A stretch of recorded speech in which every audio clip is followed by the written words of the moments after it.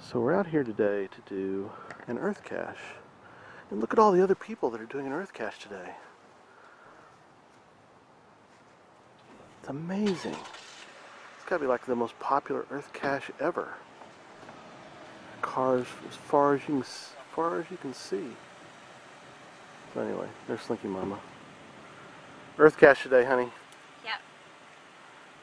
Hopefully. it's a multi. It's an. Earth, It's a multi. Earth cache multi. Oh, I don't know, something like that. Four stages at least. Yep. Coming up next.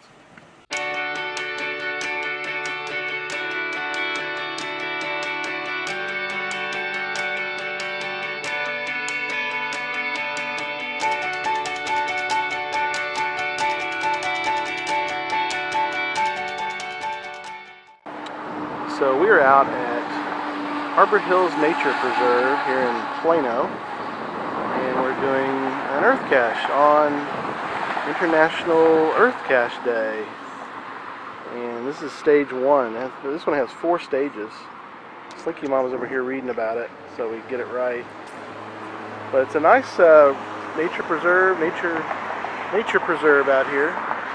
Uh, a lot of people come out here. It's a gorgeous day. There's not a cloud in the sky. Gorgeous, about 70 degrees. I feel like a weatherman. So uh, anyway, we're starting with this one. Stage one. It's pretty cool. This one's uh, Geodes is the name of this earth cache.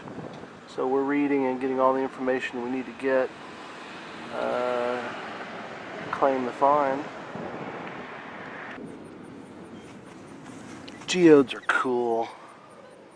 Check out the plethora of colors and items inside this uh, geode. It's been kind of broken up. I'm sure by somebody, but uh, it's very cool. Something, uh, a Doc Firewoman out here we'd be uh, get more information from her, I guess.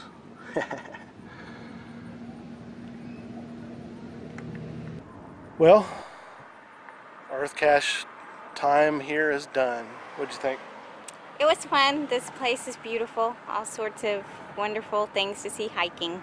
Yeah, it's a very cool preserve. Um, so we enjoyed it, and uh, hope uh, you guys enjoyed seeing some of the rocks, the geodes that we found today. And uh, then thanks for watching.